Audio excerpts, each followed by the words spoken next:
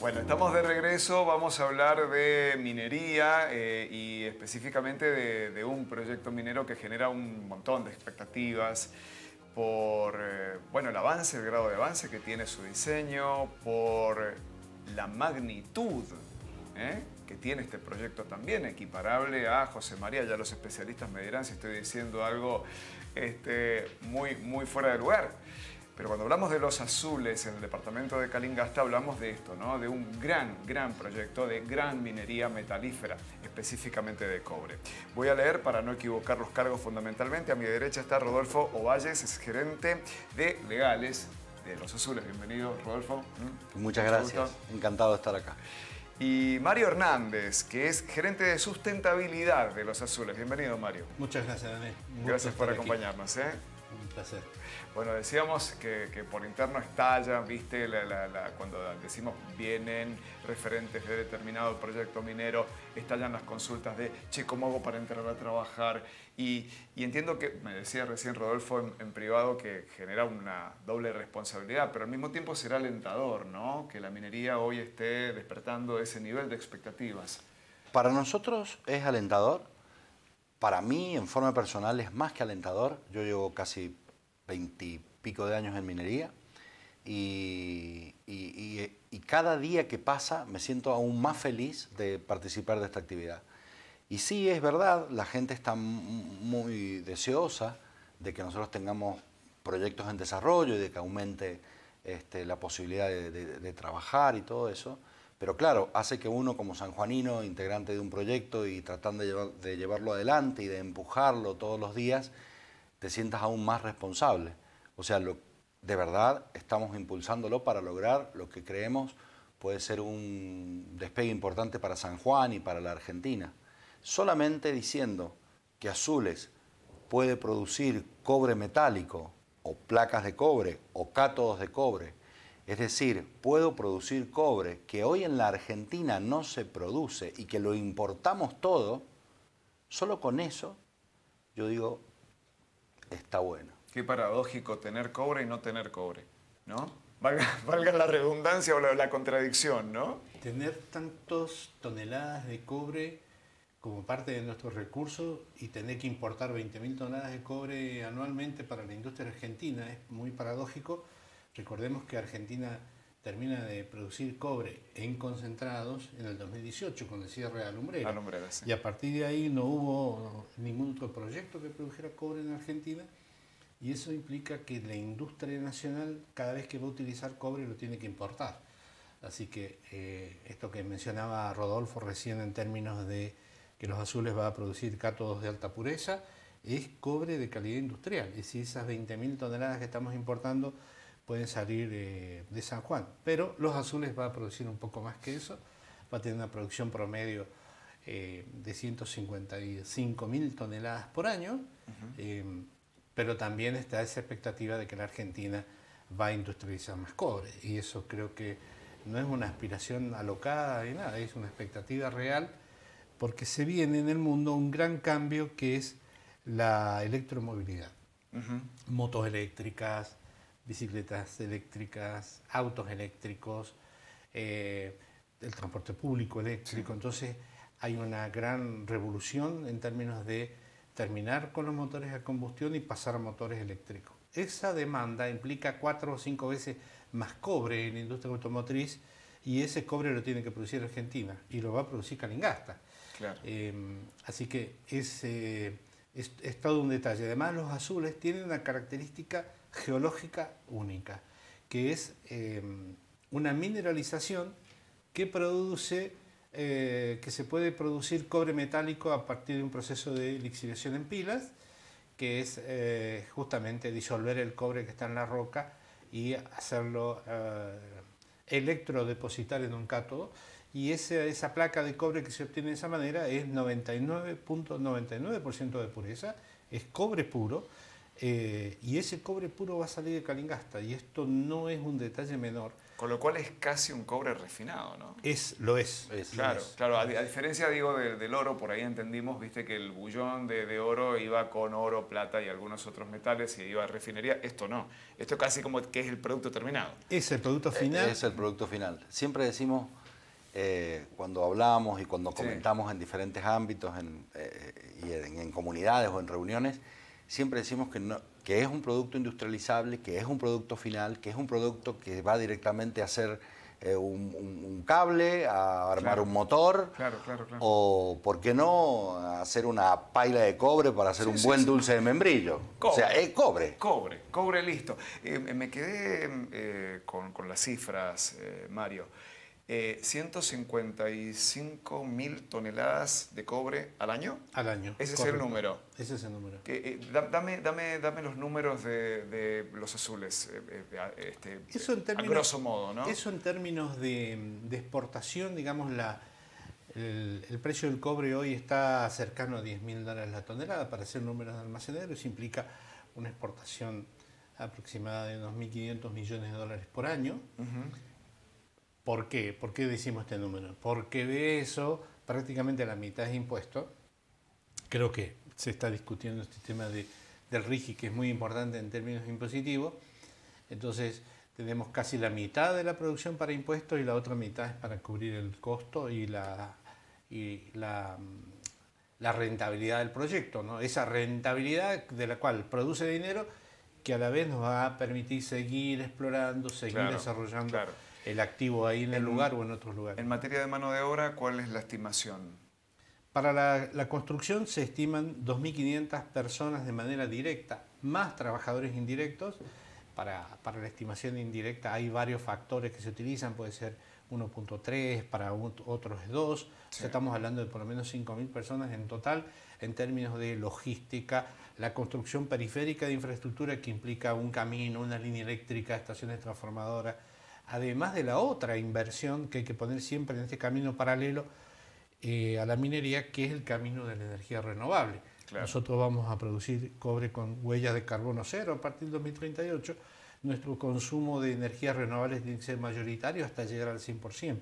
Hay una enorme oportunidad de eh, generar energía para la minería. ¿Por qué? Porque somos el cliente que consume los 365 días del año las 24 horas. Entonces hay un mercado de la energía renovable que va a ser muy importante en términos de desarrollo, de inversiones, así que esto del RIGI no es solamente para la minería, es, para las energías y todo lo demás. ¿Cuál es la, inversión estimada al momento de la construcción de la mina? Cuando nosotros hicimos el eh, estudio económico preliminar se estimaron unos 2.500 millones de dólares. Esa es la inversión.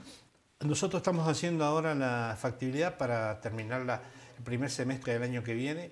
Ahí ya eh, vamos a tener los números más ajustados, eh, pero va a ser un número, imaginamos, mayor a 2.500, eh, puede ser mayor de 3.000 también.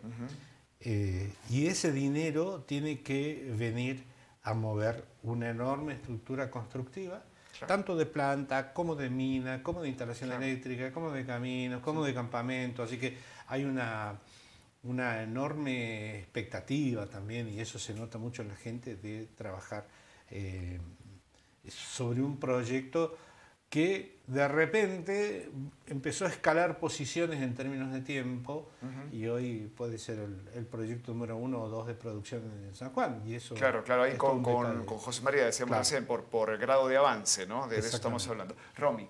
Mario Rodolfo, quien quiera contestar, digo, eh, te escuchaba recién, Mario, mencionar el tema de la palabra expectativa, una palabra que el sanjuanino eh, quizás eh, al sanjuanino lo tiene alterado porque cómo se trabaja desde los azules después de anunciar, digamos, la cantidad de inversión, el, el, el perdón, el proceso del progreso que tiene, cómo se hace para manejar la expectativa de la gente en relación al plano laboral y al derrame económico que esto puede significar para la provincia de San Juan? Primero tener una comunicación transparente con la gente, explicarle exactamente dónde estamos, explicarle nuestro cronograma, nuestra línea de tiempo, qué es lo que nos está haciendo falta para, para ir avanzando con, cumpliendo con ese cronograma. Vemos que es un cronograma eh, bastante ajustado, digamos, en términos de, eh, primero, recibir la aprobación del informe de impacto ambiental para la etapa de producción que está en evaluación ahora. Eh, fue presentado en abril del año pasado. Ese es como el primer paso fundamental. Y está en evaluación. Está en evaluación. Ya respondimos dos pedidos ampliatorios justamente de la comisión evaluadora. Y bueno, una vez aprobado el informe, esperemos que tenga una, una aprobación pronto, a partir de ahí se dispara otra etapa que es la de comenzar los permisos sectoriales. Todas las unidades que tienen la mina pasan por una etapa de revisión, especialmente de ingeniería, de ingeniería de detalle, para comenzar la construcción. Nuestro cronograma es eh, comenzar la construcción en el 2026 para comenzar a producir en el 2029. Así que esto lo explicamos mucho, especialmente en Calingasta. Llevamos más de 1.700 personas en diferentes charlas en distintas localidades del departamento donde la gente pregunta esto, bueno, ¿cuándo empezamos a construir? Eh, ¿En dónde me puedo notar? Eh, ¿Cómo me debo preparar? ¿no? Y en eso nosotros estamos trabajando ahora en un enorme plan de entrenamiento en comunidades, lo, arrancamos justamente este 31 de julio, que teníamos una expectativa de repetir un proceso que habíamos hecho eh, el año pasado, donde tuvimos 350 personas en este programa de entrenamiento. Bueno, este año ya llevamos inscritos más de 900. Y eso es justamente esto, Romina, que me preguntaba. ¿De qué manera la gente quiere participar? Lo primero es obviamente entrenándose, preparándose. Nosotros eh, después de octubre comenzamos toda un una serie de entrenamientos en oficios, por ejemplo. ¿En qué tipo de oficios, Mario, son estos PEC? Bueno, eh, en primer lugar, esta etapa que, estamos, que arranca el 31 de julio tiene que ver con cursos de topografía, es el el curso que más interés ha generado, pero tenemos cursos de, seguridad, de maquinarias, de manejo de maquinarias pesadas.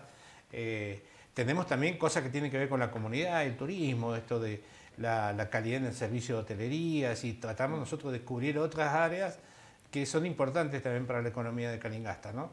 Eh, en octubre, a partir de octubre, comenzamos cursos de oficio, soldador, instalaciones eléctricas, instalaciones sanitarias, me gusta mucho la iniciativa eh, de, de, que la gente empiece a aprender a instalar paneles solares, toda la instalación eléctrica, calefones solares. Se viene, evidentemente, todo un aprovechamiento de la energía solar por suba de tarifas, porque es un recurso que lo tenemos disponible.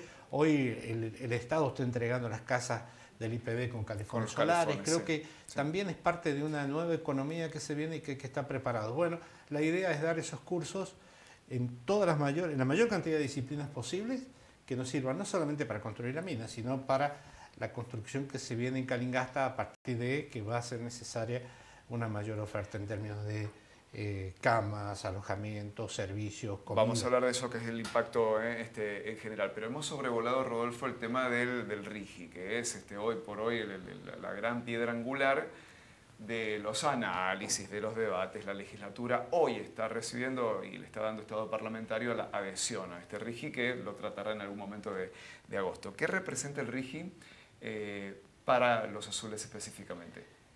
El RIGI, el régimen de inversiones para, de incentivos para las grandes inversiones, no solo representa para azules una oportunidad de contar con incentivos y beneficios necesarios para inversiones muy superiores en capital como las que detalló Mario.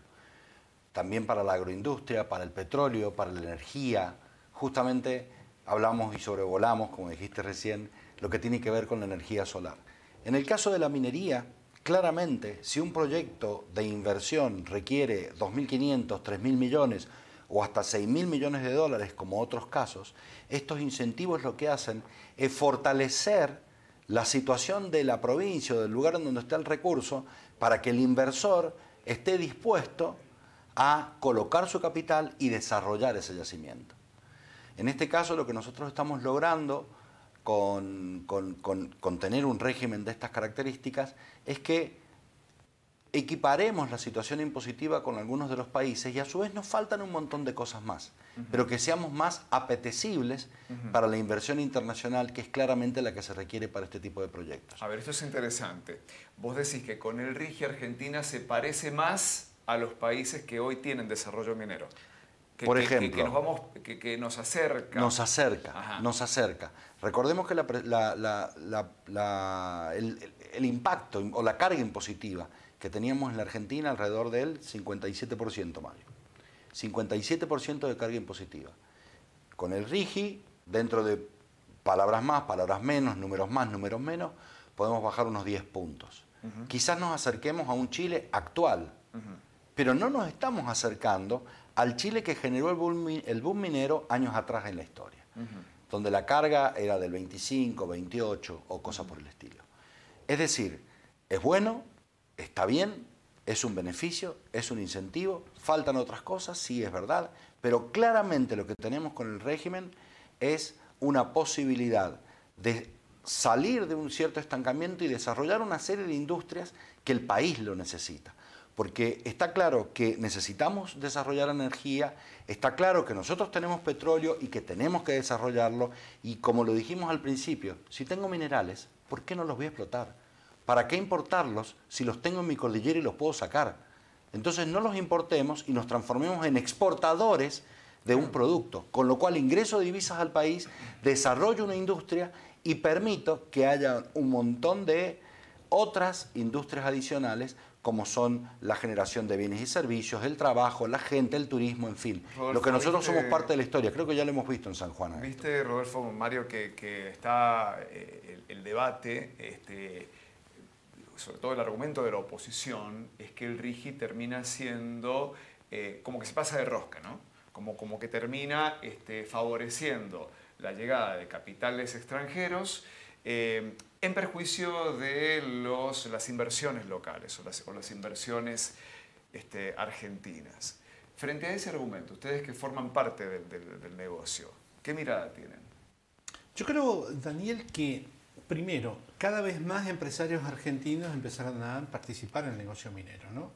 José Luis Manzano, el caso de, Eduardo Erstein, Eunequian, es decir, hay muchos empresarios argentinos que se transformaron también en empresarios mineros.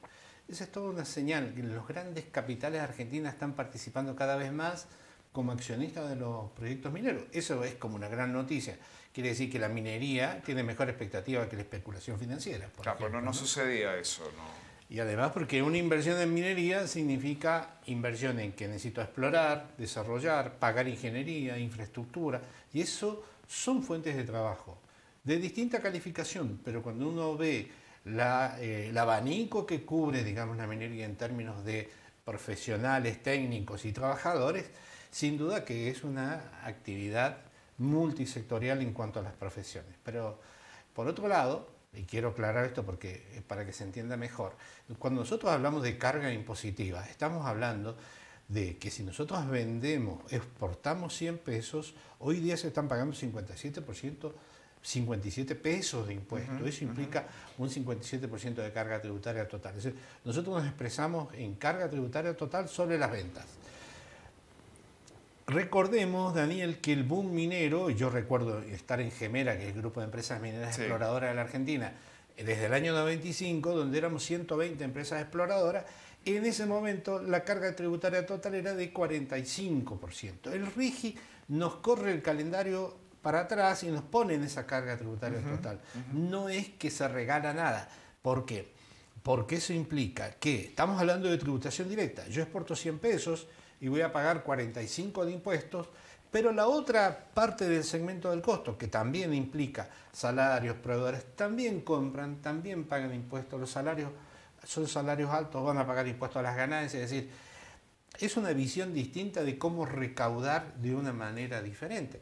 Me parece que está bueno, yo lo explicaba en una conferencia, que hoy estamos recaudando 57 pesos de cada 100 que exportamos, yo prefiero recaudar 450 de 1000, Claro. ¿no? que es producir más, exportar más para recaudar más. Claro. Porque voy a producir más, voy a generar más cantidad de puestos de trabajo. No es lo mismo una mina en producción que 10 minas en producción.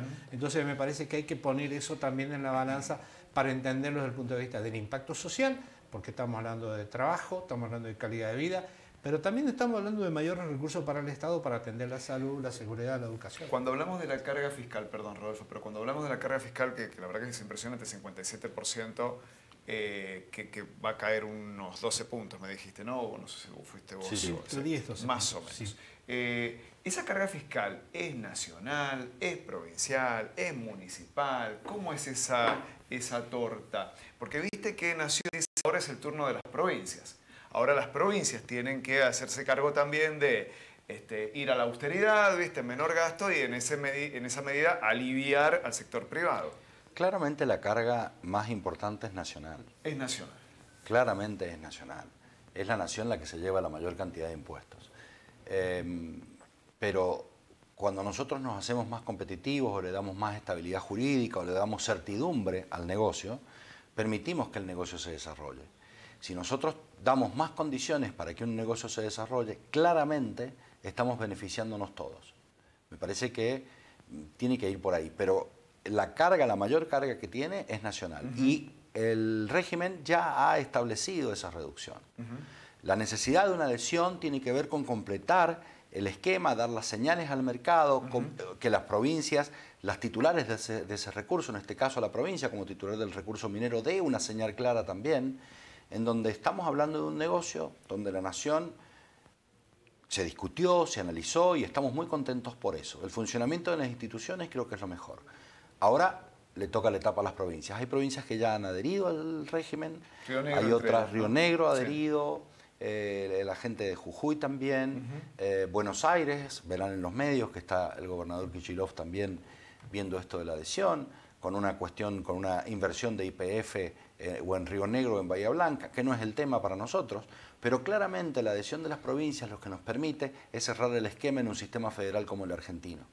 En una provincia minera como la que tenemos, no, creo que nosotros somos parte de la historia, somos parte, hemos visto para atrás cuál es el desarrollo de la minería en San Juan y por lo tanto creo que, una adhesión de la provincia de San Juan lo que hace es completar este esquema de, inversión, de desarrollo, de trabajo genuino y de trabajo minero básicamente, ¿no?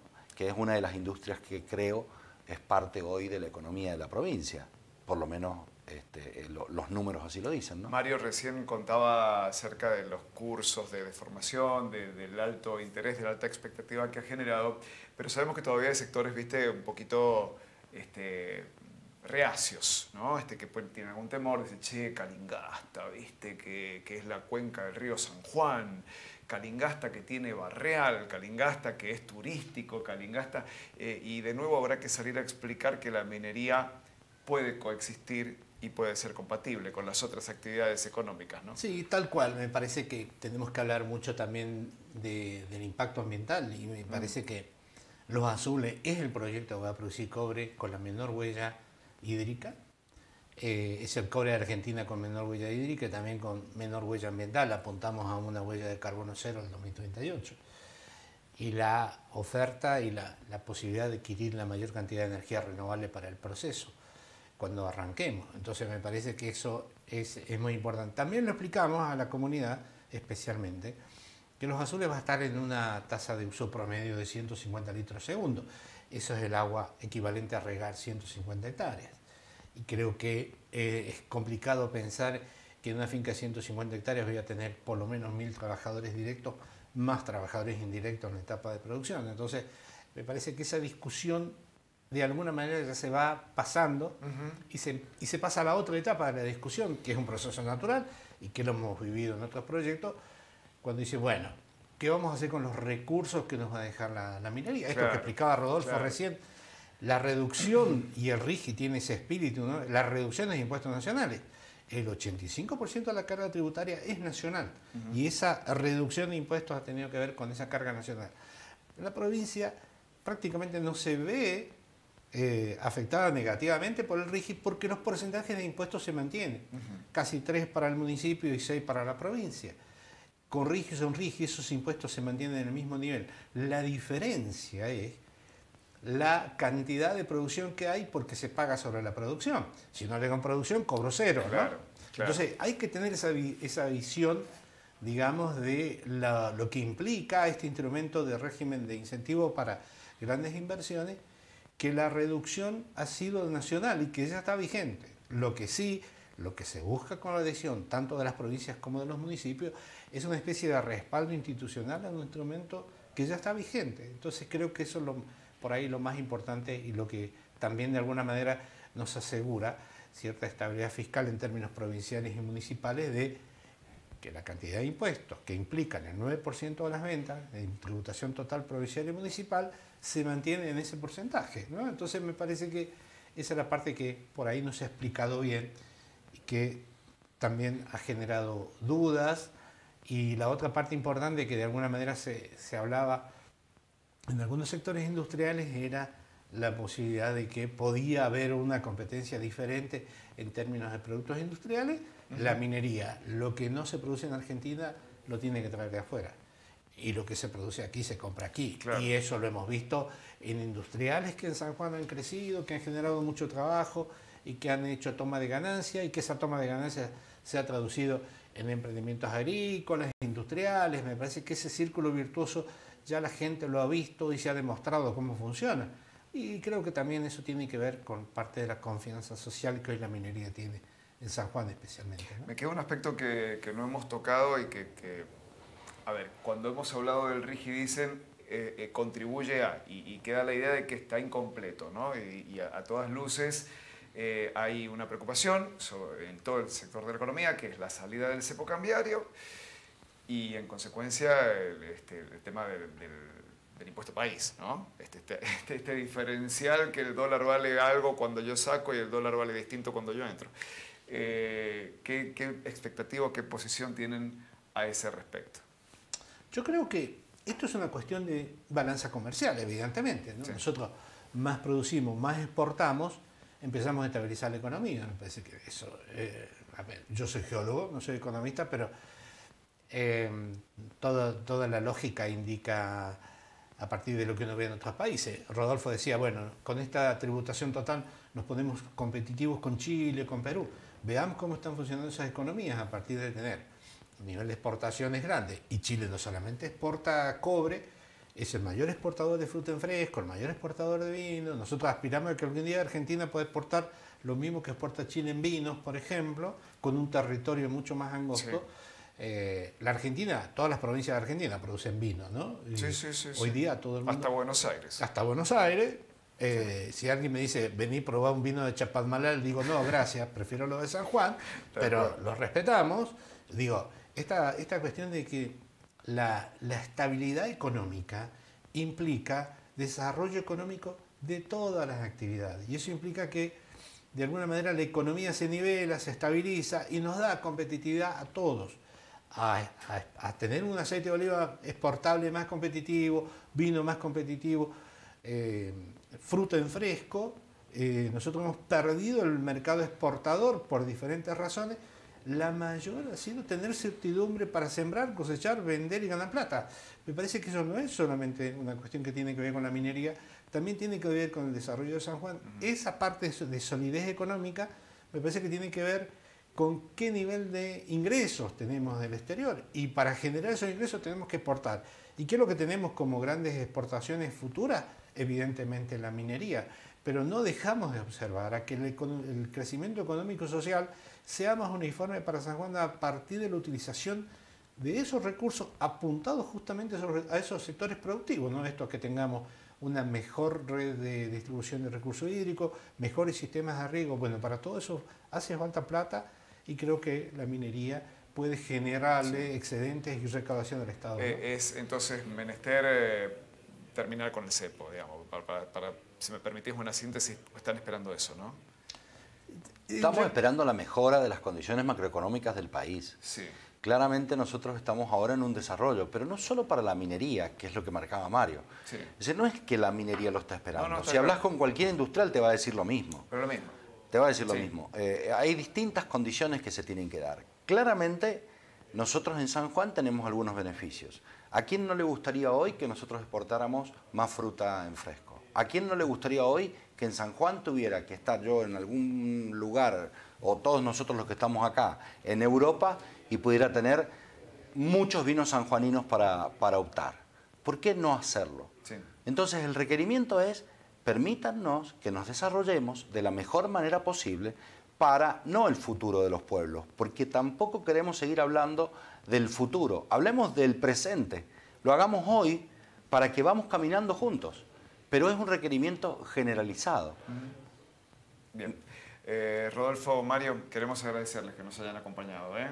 A nosotros también, para mí ha sido un placer estar acá, eh, les agradezco siempre y, y, para lo que dispongan, Azules, como saben, este, somos dispuestos a brindarles la, las aclaraciones, comentarios y notas que quieran. Bueno, Mario, muchas gracias también. Siempre a disposición, Daniel. Muchas gracias. Gracias, Romina, también. Queda en producción. Este, pues, seguramente nos, nos, están, nos siguen llegando mensajes de, che, ¿dónde mandar el currículum y Bueno, en, en Zócalo, eh, vamos a poner ahí el contacto este, del, del, de la recepción de, de, de, los azules, ¿no? Este, para todos aquellos que tengan la este, intención de vincularse. Bueno, va a quedar eh, esa información acá disponible. Ahí está, ahí está. Eh. Tomen nota, sáquenle fotito, seguro que habrá mucho interés al respecto. Y por supuesto esta nota va a estar disponible en un ratito más también, eh, íntegra en nuestro diario digital, en diario13sanjuan.com y en todas nuestras redes sociales, Facebook, Twitter, Instagram, YouTube, Canal 13 San Juan TV. Pausa, ya volvemos.